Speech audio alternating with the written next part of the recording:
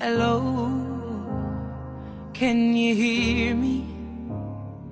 I'm in California dreaming about who we used to be when we were younger and free. I've forgotten how it felt before the world fell at our feet. There's such a difference between us and a million.